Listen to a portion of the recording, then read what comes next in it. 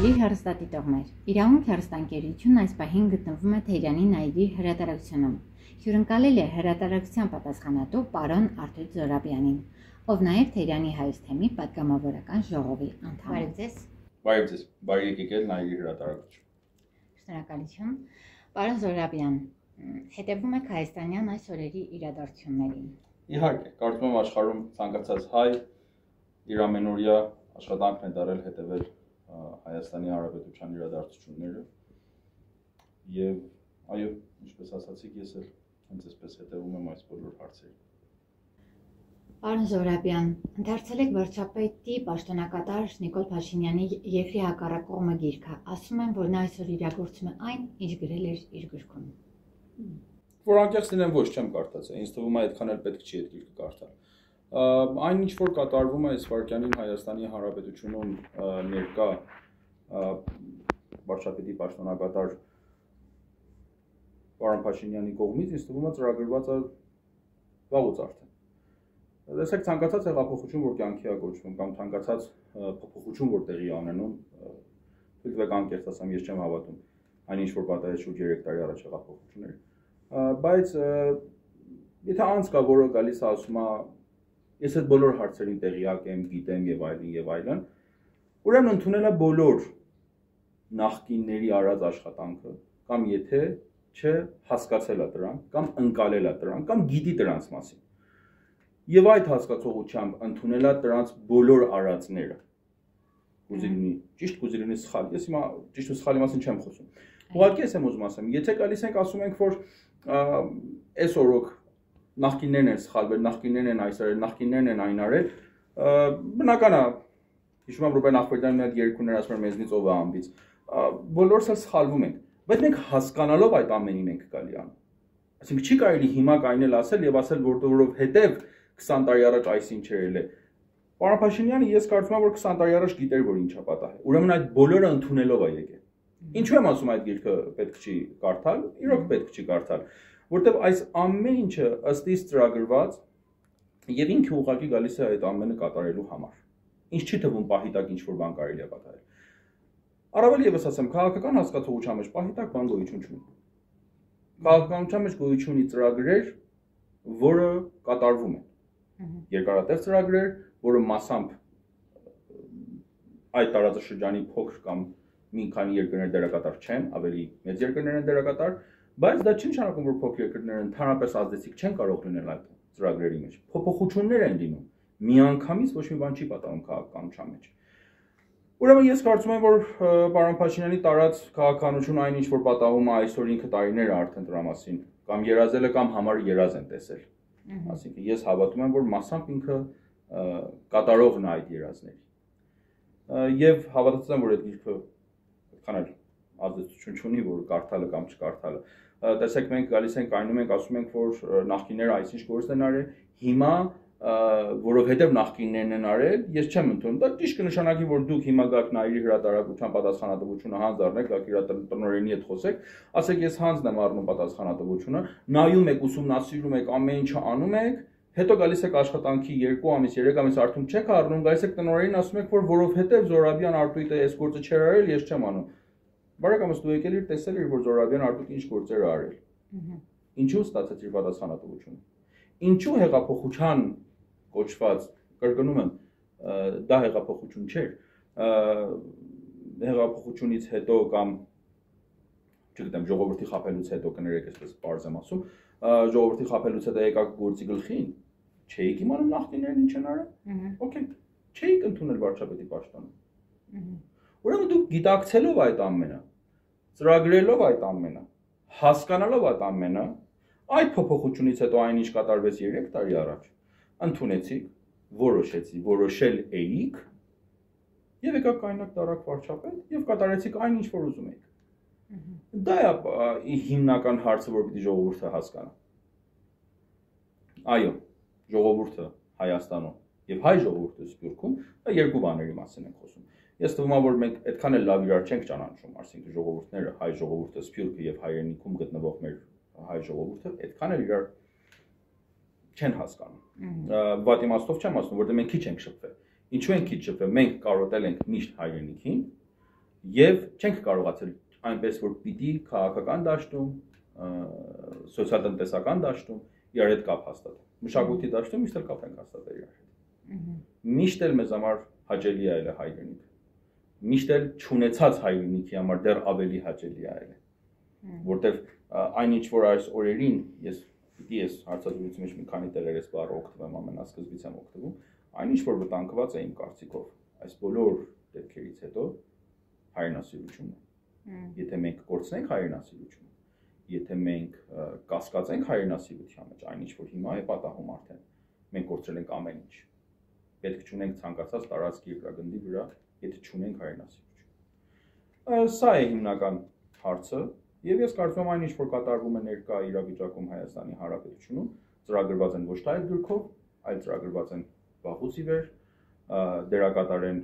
ներքին եւ արտաքին ուժեր, ըստ իս դերակատարեն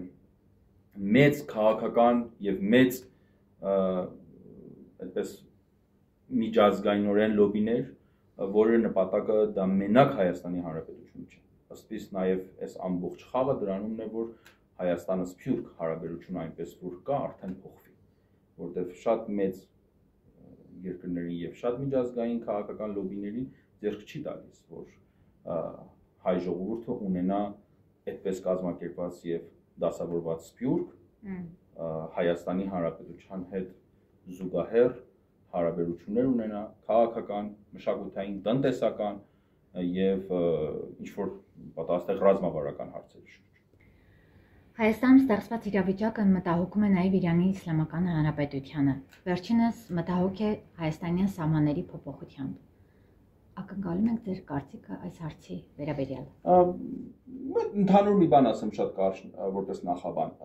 Երկու երկրների, մանավանդ հարևան երկրների, մանավանդ տարածաշրջանում ազդեցիկ երկրների հարաբերությունները այդպես չեն որ միակ գալիս ենք ասում ենք լավ երկիր, վատ երկիր, թշնամի երկիր, ընկեր երկիր, չէ կան միասնական շահեր հասկացողություն քաղաքական դաշտում եւ սա շատ կարեւոր եւ շատ նուրբ կետ է դառնալով Իրան-Հայաստան հարաբերությունների թաքնված բան չի Իրանի ամբողջ սահմանային հարցերով հասկացողության վրա Հայաստանը դառնում է Իրանի ամենակարևոր ռազմավարական եւ մոտ եւ ընկեր երկիրը հասկանալով այն որ մենք երկու տարբեր կրոնական գիտակցությունների մասին ենք խոսում սա նմուշ է ամբողջ աշխարհում սա ռոպագանդայի խոսք չէ Սա իրականություն է։ Իսլամ քրիստոնյա հարաբերությունը դուք կարող եք տեսնել Իրան-Հայաստան հարաբերության մեջ։ Սա որպես սկիզբ։ Իսկ ցանկացած երկրի համար գոյություն ունեն այսպես կոչված կարմիր գծեր։ Իրանի համար ես փորձելով, ապրելով, այստեղ ծառայելով, այստեղ ծառայելով որպես զինվորական երկու տարվա շրջանած, չգիտեմ, ուսումնասիրելով համասարանով եւ այլն եւ այլն Իրանի համար կարմիր ամենակարմիր գիծն է։ Երկրի անվտանգությունը դառնում է Իրանի ոչ թե մենակ քաղաքական, այսպես ասած, ղեկավարների համար, այլ ցանկացած ժողովրդի եւ երեխայի համար, հայի համար։ Մենք նահատակ ենք տվել այս երկրի համար։ Ամենաշատ նահատակը բոլոր փոքրամասնությունների մեջ ունեցել հայ ժողովուրդը։ Դա պատվով է ասում։ Շուրջ 114, եթե չեմ սխալվում, միակ նահատակ երկրի ամբողջական տարածքը պահպանելու համար 100% այդպես։ Իրանը ես կարծում եմ դա արդեն կրկնողություններ կլինի Իրանի Իսլամական խորհրդարանի ազգային անվտանգության ղեկավարի արտահայտությունները արտգործնախարարի արտահայտությունները նաև մեր խորհրդարանի հայ պատգամավորների եւ ընդհանրապես Իրանը Իրանը ինձ թվում է դա ոչ թե միայն կատակ չի եւ առավել եւս դա քաղաքական խոսքեր էլ չեն գործնական խոսք Իրանը չի գնա այն խաղի մեջ որը Իրան-Հայաստան սահմանափոխության ենթարկի։ Ես դրա վրա կասկած չունեմ։ Բայց մի ներփուչում գոյություն։ Իրանը 100%-ով հավատացած է միջազգային օրենքներին։ Սա է նուրբ կետը։ Լսեք, եթե մենք խոսում ենք Իրան-Հայաստան հարաբերության վրա, դա երկկողմ հարաբերություն է։ Չի կարելի անընդհատ Իրանը մի բան ասի, մի բան ասի, մի բան ասի եւ մյուս կողմից հակազդեցություն պիտի ունենա։ Դեք ես գալիս եմ ասում դեզում եմ օգնել, դեզում եմ օգնել, դեզում եմ օգնել։ Մինչև դուք չեք ցանկանում իմ օգնությունը, դա չի ստացվում։ Հայաստանի Հանրապետության կողմից պիտի ընկալվի սա։ Պիտի պիտի հասկանալի դառնա, պիտի ավելի խոսվի, ավելի པարզ խոսվի։ Իրանը երբ որ դա ասում է, ինձ թվում է մի հատ պատկամ է փոխանցում Հայաստանը։ Հայաստանը պիտի հակազդի այդ պատկամին։ Նույն պատկանի նմուշը մենք ունեցել ենք ցավոք Իսրայելի դեսպանատան բացելու մեջ։ Իրանը բազմիցս այդ պատկամը փոխանցեց Հայաստանին։ Մի նուրբ կետ կա։ Ասում են, որ այնինչ երկիրը ունեցել է դեսպան, ինչու մենք չունենանք։ Ինչի մասին ենք խոսում։ Խոսում ենք Իրան-Հայաստան հարաբերության մասին։ Միթե մոռացել ենք հարավային Օսեթիայի դեպքերը Աբխազիայում, ինչ պատահեց։ Գիշերով չէր Իրանում, որ այդպես օգնությունները հասեց։ Ասեք դուք խոսում եք ձեր ամենառազմավարական հարևանի մասին, երկու գործող սահմանի մասին։ Խոսում եք հարավ-հյուսիսի մասին։ Խոսում եք ամենա բարեկամ հարևան։ Ես հավատացած եմ, որ Իրան Հայաստանի ամենաբարեկամ հարևանը առաջ Հայաստանն է, ամենայն հարգանքով հետո Վրաստանը։ Ուրեմն նրբություններ շատ կան, նրբություններ շատ կան։ Բայց բայց շատ շատ կարևոր բան է։ Իրանը չի գնա փոխսիճումների վրա, բայց իր պատկամները հստակ են։ Չպիտի գնանք այն հասկացողության վրա, որ եթե դեսպանություն ենք բացում եւ միջազգայինորեն ասում ենք, որ Հայաստանը բարձր մակարդակով միակ երկրի է դեսպանություն ուզում կնքել, որը ճշնամին է ուղակի Իրանի հետ։ Սա պատկամների փոխհասկացողության կարևորությունն է։ Պարոն Զորաբյան, այս 100 տարվա մեջ ինչու չստեղծեցինք ազգային ծրագիր։ Ինչու մենք միասնական գաղափարախոսության շուրջ չամախմբեցինք։ Տեսեք, մի քիչ դժվար է այս հարցին պատասխան տալը։ Ես Երաշար ժամանակ որ ընթերցում էի Աղբալյանից մի խոսք կար, որ ասում էր մեզ պետք է կրթություն եւ նկարագիր։ Ուսում ու գիտելիքը ստանում ենք դպրոցներում եւ համասարանում։ Մենք չկարողացանք մեր ժողովրդին կրթություն եւ ճիշտ նկարագիր ներկայացնել։ Ինչու չկարողացանք։ Մենք մինչև չենք ունեցել Հայաստանի Հանրապետություն։ Ասենք 1918-ից հետո, մենք 18-ին ունեցանք այդ իրականության մեջ մեր զարթոնքը դարավ այդպես. Հայ ազատագրական մտքի եւ հայ ազատագրական շարժման, հայ ազատագրական ոգին, այդ ամբողջ տեղավորվեց 1918-ին։ Մենք մի բան ունեցանք այսպես մի 600 տարի բացից հետո։ Այդտեղ համախմբեցինք։ Պայմանները մեզ հետ չեղան։ Դա չեմ ուզում պատմական ակնարկներ, ակնարկներ հանել։ Բայց մենք հետո մի բան պատահեց մեզ։ Մենք 70 տարի, այսինքն այդ սովետական ժամանակահատվածն եմ ուզում ասեմ։ Ցեղասպանությունից հետո ունեցանք սփյուռք ինքնստինքյան։ Այդ սփյուռքը ձևավորվեց մի նկարագրի շուրջ, մի տեսլականի շուրջ, հայրենիք։ Ազատագրել, պայքարել, դա անմիջապես հետո նեմեսիսյան շարժում եւ այլն եւ այլն եւ այլն ցեղասպանության միջազգային ճանաչում ունեինք ազգային ծրագրեր ընդհանրության մեջ։ Այդտեղ էլ կար հակասություններ աչակողմյան, ցախակողմյան, չգիտեմ, վերջապես թե քաղաքական, թե սոցիալական կարծիքներ։ Վերանկախվեց Հայաստանի Հանրապետությունը։ Մինչ դա էլ մենք միած նկարագիր ունեինք Արցախ 1980-ականներին, այդտեղ էլ հավաքվեցինք։ Հարց դեռ չէր։ Այդտեղ էլ ունեինք նկարագիր։ 91-ին վերանկախվեց Հայաստանի Հանրապետությունը, ստացանք մեր հայրենիքը ինքան մեծ եղավ, որ մի պահ մենք այդ ամենը մոռացել ենք։ Բայց արդեն միջազգանորեն ճանաչում են Հայաստանի Հանրապետության։ Արդեն սփյուռքները պիտի դառնային Հայաստանի Հանրապետության միջազգային ձեռքերը օգտագործվեր Հայաստանի Հանրապետության բարգավաճման, զարգացման, թե քաղաքական, թե սոցիալական, թե տնտեսական, թե մշակութային եւ այլն։ Այ այստեղից սկսեց այն բանը, որ մենք մոռացանք ինչ որտեղ մի խոսքով միգուցե ազգային ծրագրերը, ազգային քարտեզները բոլորը վերադարձավ Հայաստանի համար։ Բայց մենք մոռացանք, որ մենք ունենք կազմակերպած սփյուռք, որը պիտի նպաստի Հայաստանին։ Դա կարող է լինել ժողովուրդը գնալ մի մասը Հայաստանում, դա կարող է լինել ժողովուրդը բարգավաճել այդ սփյուռքները ի նպաստ Հայաստանի։ Միջազգայինորեն արդեն բոլորը նայում են Հայաստանի Հանրապետության 91-ից սկսած մինչ այժմ որտեղ մենք ունենք արդեն արտաքին գործերի նախարարություն։ Եթե մեր նախարարությունը ժամացույցի սլակների ման ճիշտ աշխատի, մենք այս մի շարք հարցերը ձեր լուծված կլինի մեզ համար։ Իսկ սփյուռքը եթե ինչ որտեղ ինչ որ ծրագրեր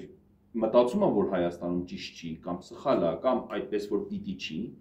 փորձում եմ որ Հայաստանի Հանրապետության հետ դեպի հարթի չի գալի դեպի միջազգայինորեն ասի դա սխալ է որտեղ մեկը մենք մեր ամեն ինչ անում ենք հայրենիքի համար այ այ այս հակասություն է այստեղ եւ իրար լավ չճանաչելով եւ իրար լավ չհասկանալով ես դասյարակվել եմ այստեղ հայրենասիրության հասկացողությամբ, բայց ապրում է այնտեղ այդտեղ հայ ժողովուրդը մի ուրիշ հասկացողությամբ Հայաստանի Հանրապետության սահմաններում։ Այս երկուսի չհասկանալը իրար հետ։ Եվ մեր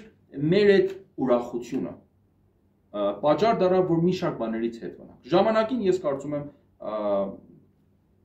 այսպես ասած Հայաստանի մի քանի տարուց հետո 90-ականների վերջերին այդպես սկսած, արդեն ժամանակվա Հայաստանի գործող նախագահային ժամանակ դեռ այդ վիճակ էր, ինչ որ ավելի ճիշտ եւ ավելի լավ հարաբերություն կար սփյուռքի մեջ։ Ավելի փող հասկացողություն կար իրար մեջ։ Դա պատճառ դարավ, որ մի քիչ ավելի ամեն ինչ ճիշտ լինի։ Հետո մենք էդի ժամանակի ընթացքում նորից ձեր ենք տվել, հիմա ընդհանրապես չունենք, ասենք ես հավատում եմ, որ դեսպան գոյություն չկա։ Տեսեք, երբ որ երկու թե Էջմիածին, թե Անտիլիաս մեր վեհապարները հագարակում են ներկա գործող պաշտոնակատար վարչապետին, թե միջազգայինորեն բարեգործական միություն այդպես ամբողջ իր միացյալ նահանգներից գործող եւ ավանդական կուսակցությունները նաեւ բողոքում են այս ամեն ինչին։ Ուրեմն մի հատ ազգային որոշում գոյություն ունի այստեղ։ Ավելի հետաքրքիրն է որ ինչու էս բանը չի պատահում հիմա։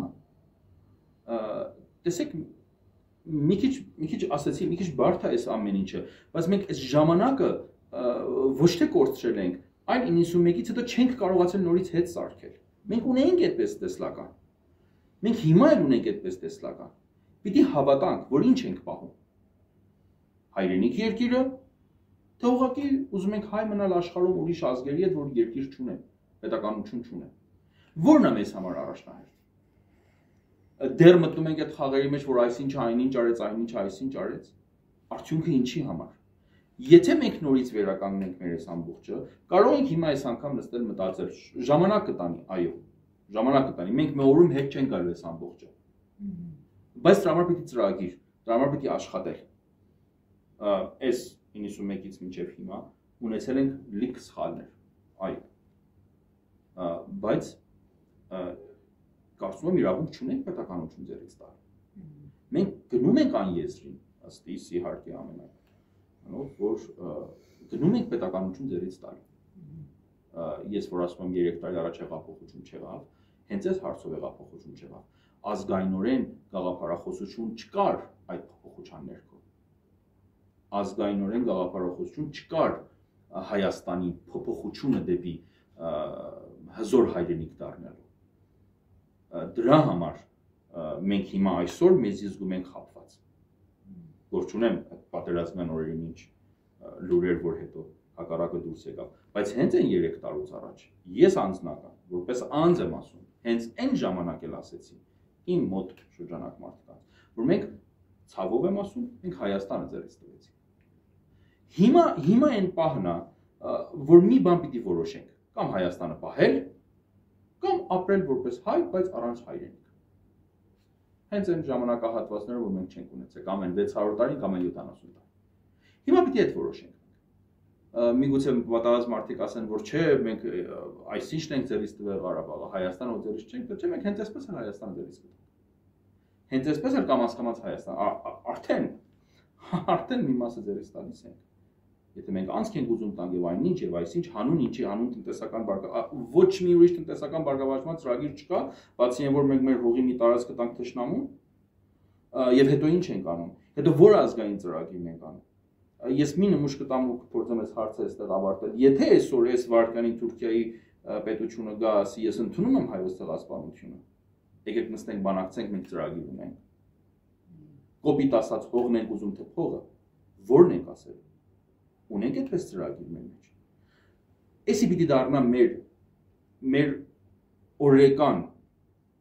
միտքը եւ պիտի ունենանք ազգային այդ այդ այդ հավատքը։ Էդի պիտի ոչ թե մենք ունենանք, էդի պիտի ունենա ծնված երեխեն։ Ի ծնե մեր հայ երեխեն պիտի այս բոլորը գիտակցի։ Չի կարելի հասնի եւ նոր մտածենք այս այս այս միջազգային այս գլոբալ աշխարհում մենք չենք դիմանա այս վիճակով մեզի կտանեն դեպի քաշքշվենք այս մեջտեղից։ Եթե մենք չունենանք այդ գաղափարախոսությունը, եթե ունենանք գաղափարախոսությունը, այ կերնի այն խոսքը, որ ես եմ ասում, ասինքն ունենանք այդ ձեռքերը միջազգային վրան եւ ունենանք մի հատ հայրենիք, որը կարողանա երկուս իրար օգնի։ Դա կուզի լինի տնտեսական, կուզի լինի սոցիալական, կուզի լինի ազգային անվտանգության։ Մենք չունենք այդ ազգային գաղափարախոսությունը անվտանգության հարցում ես չեմ տեսնում։ Ինչպես կարելի է որ մենք հայտարարվում է որ այսինչ, չգիտեմ, այսինչ երկրի զորքը մուտք է գործել 3 կիլոմետր։ Արդյոք ինչ։ Դες բան չի կարելի լինի։ Ուրեմն այդ այդ բանը չկա, այդ այդ միտքը չի աշխատում։ Մենք մտածում ենք ուղղակի մի հատ կյանք ապրել, մենք բարեկեցիկ ապրել։ Չկարևորա որ Հայաստանում ապրենք, դրսում ապրենք, ներսում ապրենք, այդ երագույնի գույներն ինչ են։ Մենք պիտի հետ գանք այդ բանի վրա պիտի հետ գանք դրա վրա, հավատանք, որ այն ժամանակահատվածն է, որ նորից ենք ուզում հայրենիք ունենալ։ Այ էդի կարիք։ Արցախի հանրապետության 75%-ն են կորցրել եւ Հայաստանի հանրապետության տարածքներից են յուրաքանչյուր օր կորուստ ունենում։ Իսկ հայ թմբիրի մեջ Ժամանակի մի խոսք ես այսպես բան եմ լսել երջանկայի շատակ հայ եղբական դաշնակցության ժամանակի ներկայացիչ Հրայր Մարուխյան մի խոսք ասեց, որ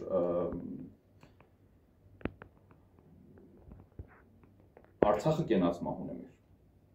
Միևնույն ժամանակ ասեց, որ Շուշին մեր Ստալինգրադն է։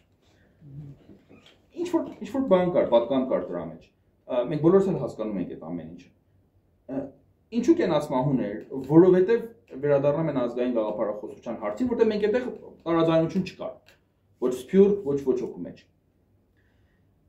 Երբ որ մենք խափված զգացինք մեզ, եւ ես կասեմ 3 տարի առաջվանից, եւ իր մյուս բևերը 44 օրյա պատերազմի դեպքերից հետո, երբ իմացանք, որ մենք լիքը սուտ լսեցինք, երբ իմացանք, որ մենք այն չէր ինչ որ պատահեց,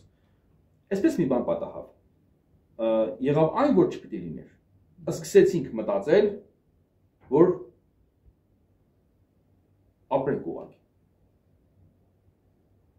Անպայման չի որ պիտի հայրենասեր ապրենք։ Ուղղակի ապրենք։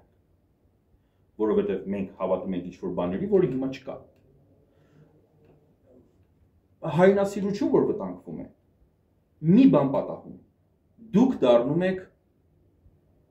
շատ լավ մարդ, ապրում եք առօրյայով։ Ոչ թե ձեր հայրենիքով։ Մտածում եք ձեր առօրյայով, ոչ թե ձեր հայրենիքով մենք ասում ենք լավ, Շուշի ձերից տվեցինք, Ստեփանակերտ ունենք։ Վաղը այդ ձեր տանք, ասենք Երևան ունենք։ Երևանը ձերից տանք, ասենք հայ ենք ապրել։ Լեզու փոխվի, ասենք պես պապես հայերեն էր խոսում։ Այդ մոռանալ միակ թարգմանություն կկարդանք Թումանյանից, կասենք մեծ մարդ է։ Տեսեք հայ ժողովուրդը մի բան կարիք ունի հիմա թե չէ ամենը ձերից կտա։ Եթե այս վարքյանին մենք 75% Հայաստանի Հանրապետության տարածք ենք ձերից տալի, եւ կան մարդիկ, որը մտածում են, որ եթե պիտի ձերից տայինք, կամ մարդիկ ասում են, «Էդո հո պիտի տայինք»։ Եթե դառնում է սա ձեզ համար առօրյա, ուրեմն դուք ինձ թվում է իրավունք չունեք հայրենիք ունենալ։ Եթե ձեզ համար հայոց ցեղասպանությունը դարել է առօրյա արդեն, առօրյա միտքս ոչ թե առօրյա կարևորագույն, այլ առօրյա թեմա, որը ընդհանրապես համար կարևոր չի։ Այսինքն, հիմա ես զարմանում եմ, որ ինչպես կարելի է մենք չենք խոսում դրա մասին, երբ որ մենք հայոց տեղասպանության հարցով չենք կարողանում վրեժ խնդիր լինել, չենք կարողանում արդար դատի հետևից լինել, իհարկե չենք կարողանա Շուշինել հետ վերել։ Նույն շահկապվածությունն է իրար հետ։ Նույնն են մեզ հետ արել։ Այս ինչքան դժվար է սրա բացատրել ինչքան դժվար է որ նույն նույն մարտիկ, նույն այդ լոբին, որը ստեղծեց հայոց ցեղասպանությունը, նույնը արեց Ղարաբաղյան շարժման հարցով Արցախյան պատերազմի վերաբերյալ։ Ժողովուրդը պիտի որոշի, որ ինչ ա ուզում։ Իսկ իսկ էդի կապ չունի, որ էլիտար խավն է որոշում, մտավորականներն են որոշում, այսինչ հարյուրականոցներ։ Ինչքան դժվար է դրա որոշելը ինչքան բարդ է որ մենք որոշենք ուզում ենք հայրենիք ունենալ թե ոչ։ Պիտի մի բաներից փոխենք, պիտի մի բաներ փոխենք, պիտի տարածաշրջանում իմանանք ու մեր հետ ենք հարաբերություն ստեղծում։ Պիտի իմանանք մեր ճշնամին ով է։ Մենք բարեկամներ շատ կունենանք։ բայց մենք թշնամի պիտի որոշենք։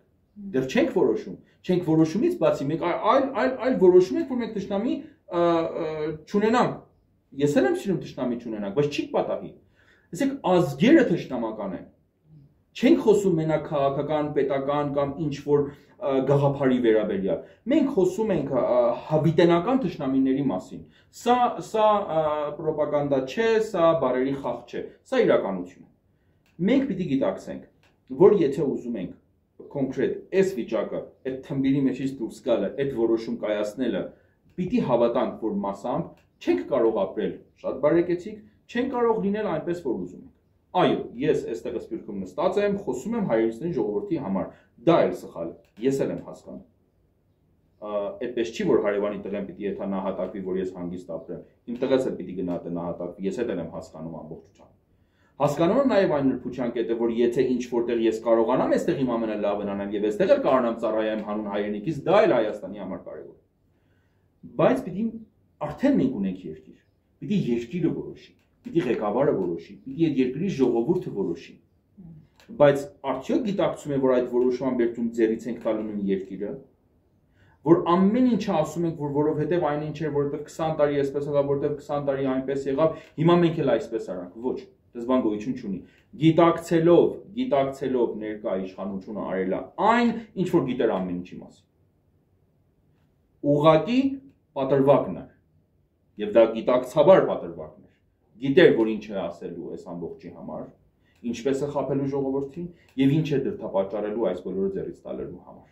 մենք պիտի 75%-ը ձեռքից տայինք այդպես պիտի լիներ ծրագրված կանեինք փորձը փորձենք աշխարհի հետ հարաբերություն ստեղծել հանուն 5000 հատնահատակի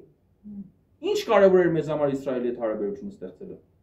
որը նույն երկրի սարկած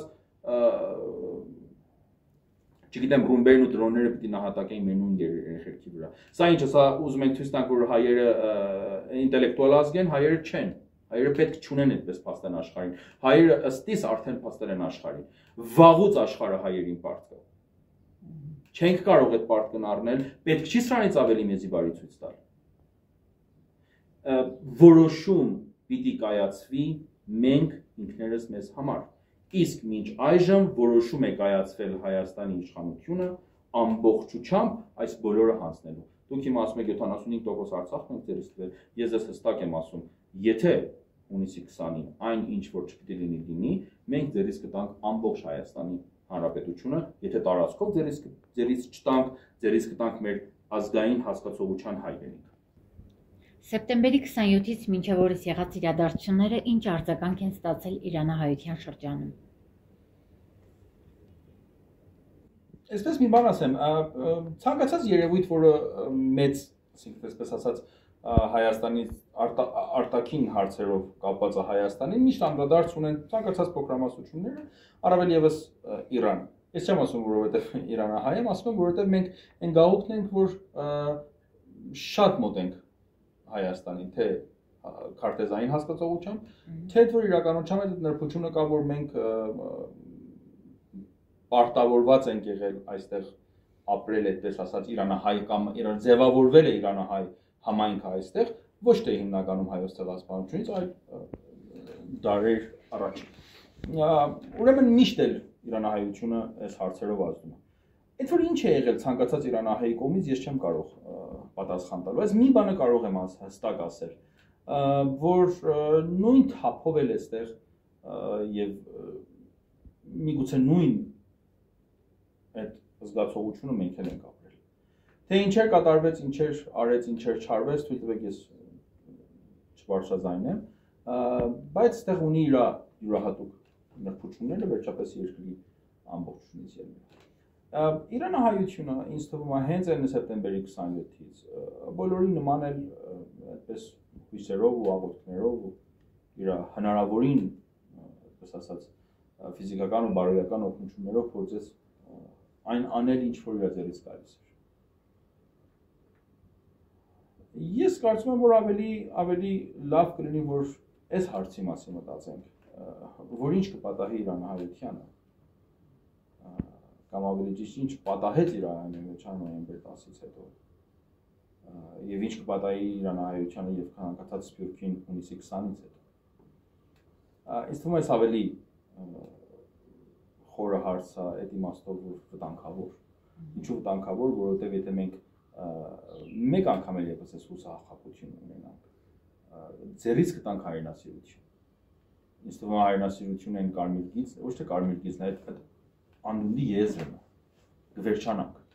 Միջից կգնանք։ Իրանահայությունը միշտ էլ հույս ու ապագայով ապրել։ Բոլորի նման մենք առավել եւս։ Մենք ուժեղ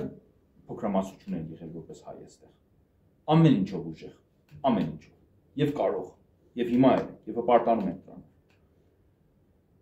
Չեմ անում խոսքս ճիշտ է թե չէ։ Միգուցե մենք այդ հազվագյուտն ենք, որ ունենք երկու հայրենիք։ Ասենք Իրան, Հայաստան։ Միգուցե, չեմ անում բառը ճիշտ եմ օգտվում թե չէ, բայց մենք շատ կապված ենք այս երկուսին։ Մենք անգամ մարզ, մարզական մրցություններում չենք իմանում է ինչ անենք, մենակ ուղղակի ուրախանում ենք, որ երկուսը հաջող են։ Տեսեք, պիտի կարողանալ ճիշտ ձևավորվի այս հարցը, որ Իրանահայությունը ընդհավիտյան մնա Հայաստանի կողքին։ Եթե այս բանը չպատահի, եթե այս այս այս այս տեսեք կան մարդիկ, կան անձիկ, ինչպես որպես մարդ, ոչ թե որպես հայ, որպես մարդ։ Իրանց ձեռքը տա որ, չգիտեմ, այսինչ անձն ելնի, ինքը իր առևտրատնտեսական հարցերն ունենա, ինքը իր բիզնեսներն ունենա, եկամտերն ունենա եւ կոպիտ ասած կացել ունի հայրենիքի վրա, ներողություն։ Իր համար կարևոր չի Հայաստան հայրենիք եւ այլն։ Այո, այդպես մարդիկ էլ կարող են լինել ամենտեղ էլ կա։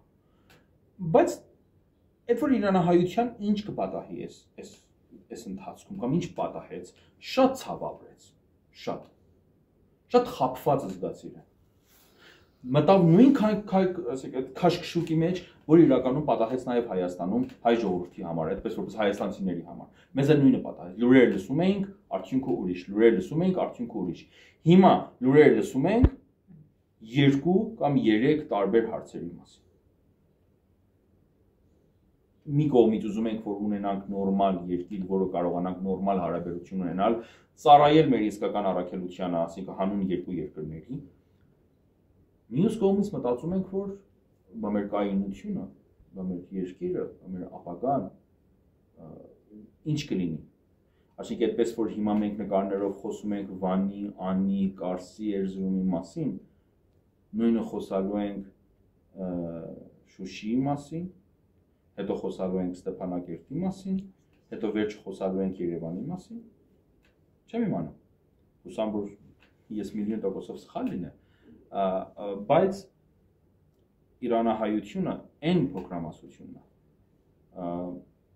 որ բոլոր թյուրմասություն բոլոր սփյուռքներ միշտ հայրենիքով ապրած է ես այս բան չեմ ասել բայց այն փոքրամասնությունն է իրանահայությունը որ հայրենիքով ոչ թե ապրել այլ սնվել է որտեվ տեսել է Թադեի վանքից մասի սարա երևում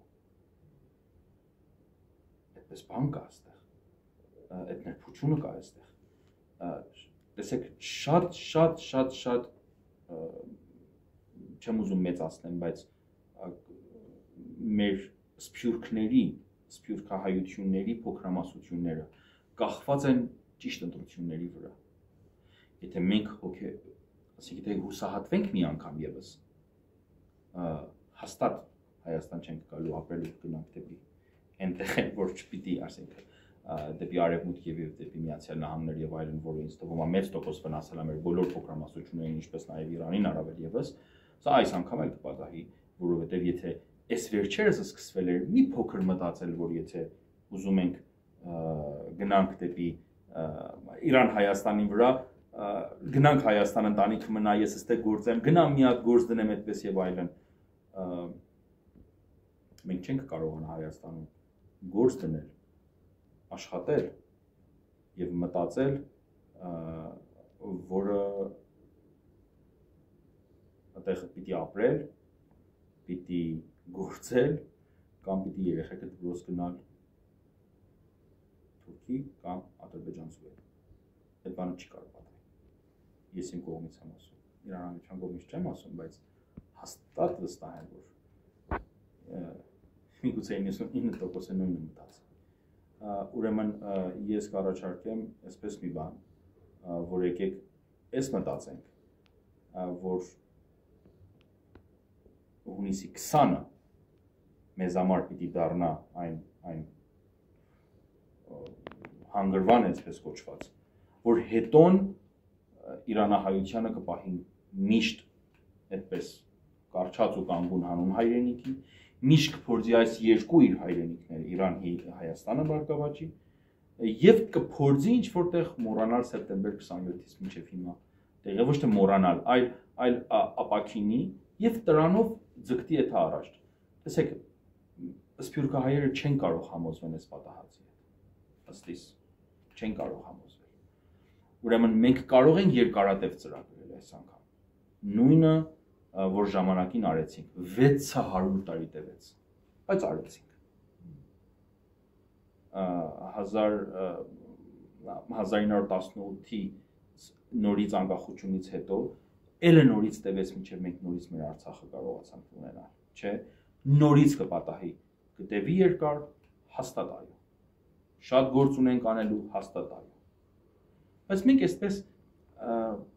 ծանր օրեր տեսածը մեզ համար սովորություն ա դարել, չգիտեմ ինչու, բայց այդպես է։ Իրանահայությունը այն այն սփյուռքահայությունն է, որ ինձ թվում է կարողանա այս ամբողջը անի։ Բայց